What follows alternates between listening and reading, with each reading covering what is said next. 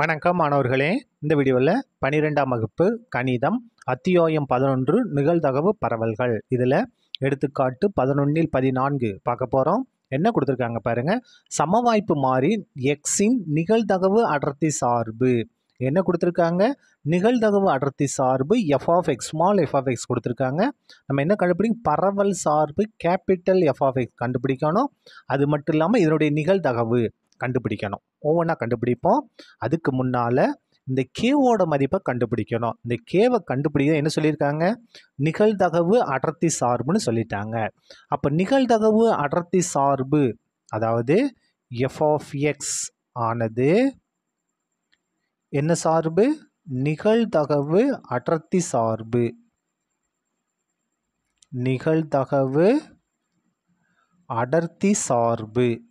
அதனால் என்னவாமா நமக்கு என்ன condition integral minus இன்ஃபினிட்டிருந்து plus infinity f of x equal to ஒன்று இப்போ பாருங்கள் ஒரு சின்ன number line minus infinity plus infinity நமக்கு என்ன இருக்குது ஒன்று ஐந்து. ஒன்றுலேருந்து ஐந்து வரைக்கும் தான். அப்போ ஒன்று ஐந்து. இப்போது இதை நம்ம எப்படி எழுதலாம் பாருங்கள் மைனஸ் இன்ஃபினிட்டி ப்ளஸ் இன்ஃபினிட்டி வரைக்கும் எழுதணும்.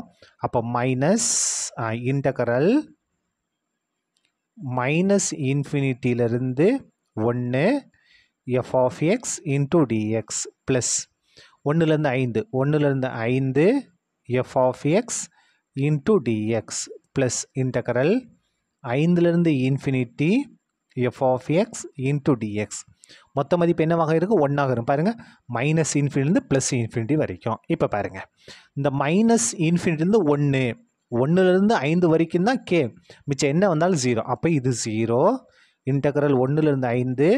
ஒன்றுலேருந்து ஐந்துனா என்ன? கே கே இன்ட்டு டிஎக்ஸ் அஞ்சுலேருந்து இன்ஃபினிட்னா பாருங்கள் ஒன்றுலேருந்து அஞ்சு வரைக்கும் தான் மதிப்பு. மிச்சம் இருந்து வந்தாலும் ஜீரோ தான். அப்போ இந்த இடத்துல இன்டகரல் ஐந்துலேருந்து இன்ஃபினிட்டி இன்ட்டு ஜீரோ ஈக் அதாவது எஃப்ஆஃப்எக்ஸோட மதிப்பு ஜீரோ ஈக்குவல் டு ஒன்று இந்த ஜீரோ இந்த ஜீரோ எதுவும் ஆக போகிறதுல விட்டுருவோம். பாருங்கள் கே மாறிலி அப்படியே தான் வரும்.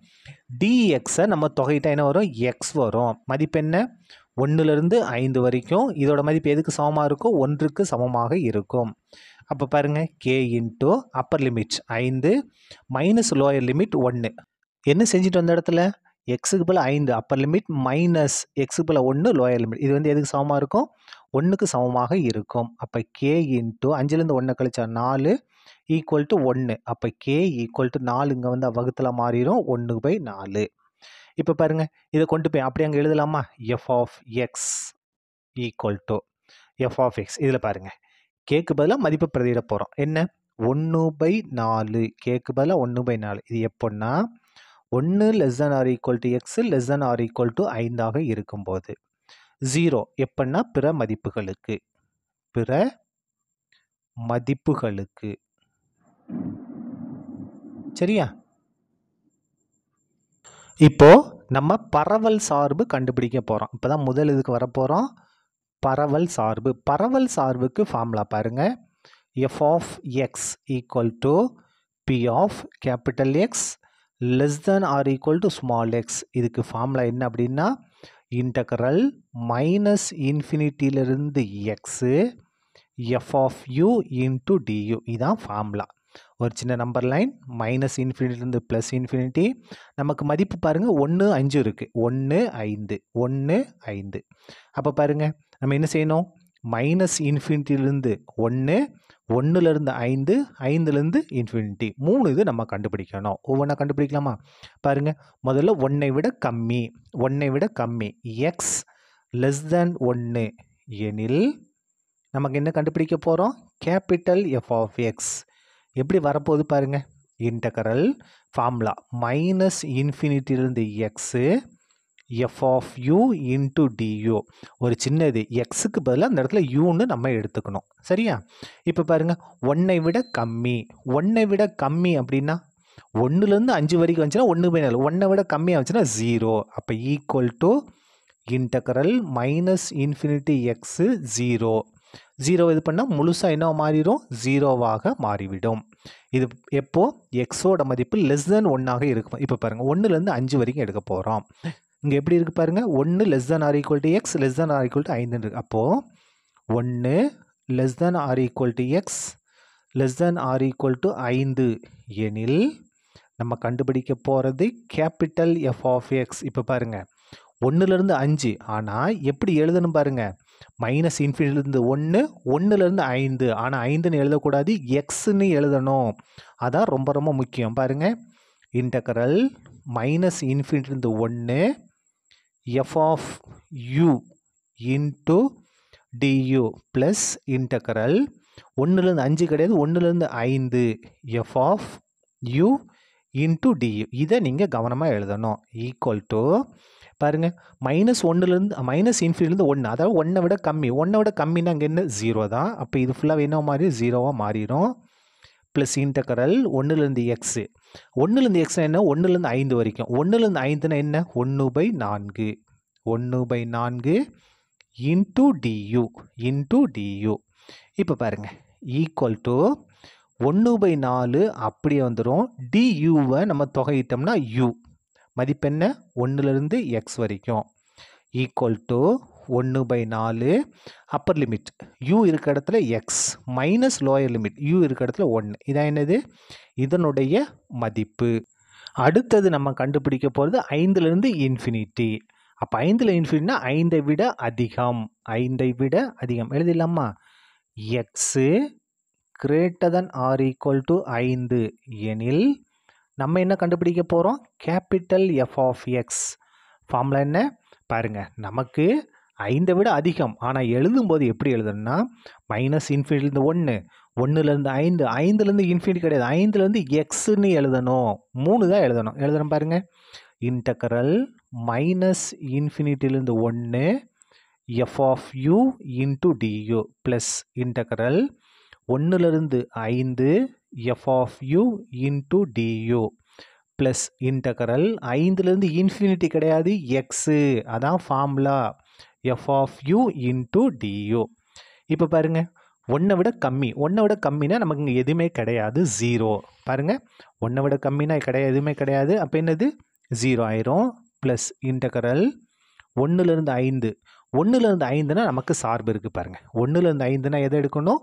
ஒன்று பை நாலை எடுக்கணும். அப்போ இந்த இடத்துல ஒன்று பை நாலு into du plus integral ஐந்துலேருந்து x f of u into du ஐந்தை விட அதிகம் ஐந்தை விட அதிகம். பாருங்கள் ஒன்றுலேருந்து அஞ்சுக்குள்ளே தான் நமக்கு ஜீரோ மிச்சம் என்ன வந்தாலும் ஆ ஒன்றுலேருந்து அஞ்சுக்குள்ளே தான் நமக்கு என்ன? ஒன்று பை நான்கு. வேறு என்ன வந்தாலும் ஜீரோ அப்போ ஐந்தை விட அதிகம்னா இது என்ன மாறிடும்? ஜீரோ இன்ட்டு டியூவாக மாறிடும். அப்போ இந்த மதிப்பு ஃபுல்லாகவே நமக்கு ஜீரோவாக மாறிடும். பாருங்கள் இதை விட்டுடலாம். இந்த இடத்துல ஒன்று பை நாலு அப்படியே வந்துடும் டியூவை நம்ம தொகையிட்டோம்னா யூ லிமிட் என்ன? ஒன்றுலேருந்து ஐந்து வரைக்கும். ப்ளஸ் இது என்ன மாறிடும்? ஜீரோவாக மாறிவிடும்.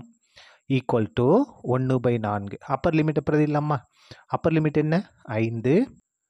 மைனஸ் லோயர் லிமிட் யூக்கு பதிலாக லோயர் லிமிட் என்ன இருக்குது ஒன்று அப்போ யூக்கு பதிலாக ஒன்று சரியா? ஈக்குவல் டு ஒன்று பை நாலு. அஞ்சுலேருந்து ஒன்றை மைனஸ் பண்ணால் நாலு. அப்போ இந்த நாலு இந்த நாலு கேன்சல் ஆயிரும். ஒன்று வந்துருச்சு.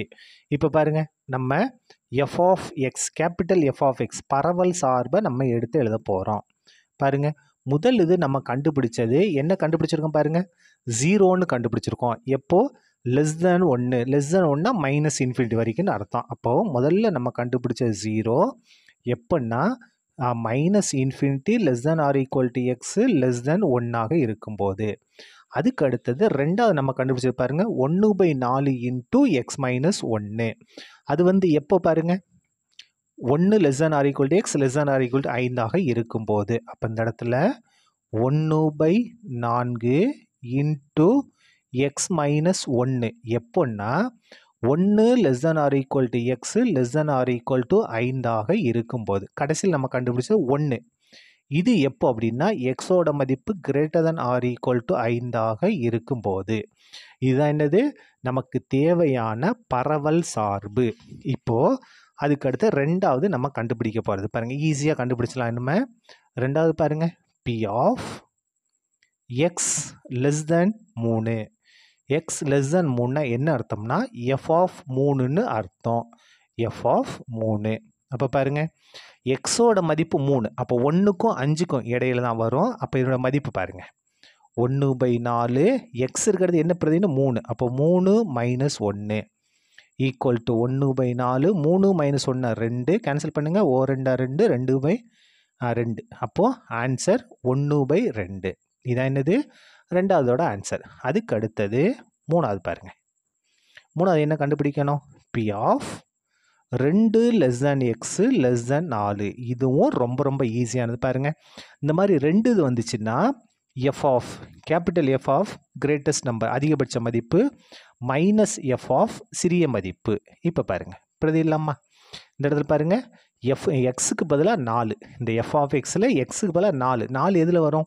ஒன்றுக்கு அஞ்சுக்கு இடைப்பட்டது அப்போ பாருங்கள் இந்த ஒன்று பை நாலு அப்படியே வந்துடும் எக்ஸுக்கு பதிலாக நாலு மைனஸ் ஒன்று இப்போ இங்கே வாங்க. எக்ஸுக்கு பதிலாக ரெண்டு. அப்போ ரெண்டு எங்கே வரும்? ஒன்றுக்கு அஞ்சுக்கு இடைப்பட்டது தான். அப்போ பாருங்கள் இந்த ஒன்று பை நாலு அப்படியே வந்துடும் இந்த ஒன்று பை நாலு அப்படியே வந்துடும் இப்போ எக்ஸுக்கு பதில் என்ன பிரதின்னு ரெண்டு. அப்போ ரெண்டு மைனஸ் ஒன்று ஈக்குவல் டு ஒன்று பை நாலு. நாலு மைனஸ் ஒன்று மூணு. மைனஸ் ஒன்று பை நாலு. ரெண்டு மைனஸ் ஒன்று ஒன்று தான் இப்போ பாருங்கள் ஈக்குவல் டு எது சமமாக இருக்குது பகுதி சமமாக இருக்கா? ஒரு தடவை எழுதிக்குங்க. ஒரு மூணா மூணு மைனஸ் ஓர் ஒன்றா ஒன்று அப்போ மூணில் ஒன்று மைனஸ் ரெண்டு ரெண்டு பை நாலு. கேன்சல் பண்ணுங்கள் ஓ ரெண்டா ரெண்டு ரெண்டு ரெண்டா நாலு. அப்போ ஒன்று பை ரெண்டு. இதான் என்னது? மூணாவது இதோட மதிப்பு. அதுக்கு அடுத்தது கடைசி இது நாலாவது பாருங்கள் நாலாவது நம்ம என்ன கண்டுபிடிக்கணும்? பி ஆஃப் பி ஆஃப் மூணு less than or equal to x பாருங்கள் இதை மாற்றி எழுத போகிறேன் எப்படி எழுதலாம் பாருங்கள் P of x greater than or equal to மூணு. இதை மாற்றும் போது இந்த குறியீடு சேர்ந்து மாறுங்க less than or equal to அங்கே கிரேட்டர் தென் ஆர் ஈக்குவல் பாருங்கள் இந்த திறந்த பக்கம் இருக்கு இல்லையா? இது வந்து எதை பார்த்துட்டு? எக்ஸை பார்த்துருக்கா? அப்போ நம்ம எழுதியிருக்குது கரெக்டு இந்த இடத்துல பாருங்கள் இந்த greater than or equal to மூணுனா நமக்கு ஃபார்முலா இல்லை.